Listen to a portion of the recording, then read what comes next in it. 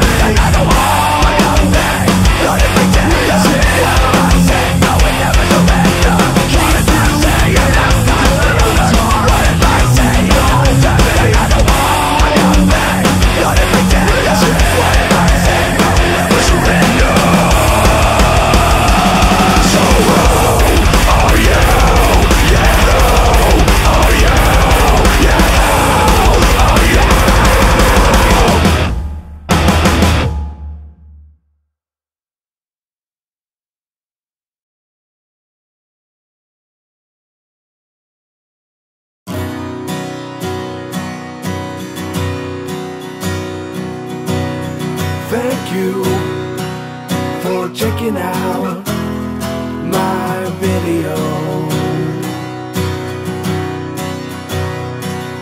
I do sell my songs online on iTunes, Amazon, Google Play, and Loudr. I do have a Patreon site where you can get all the songs in an instant down.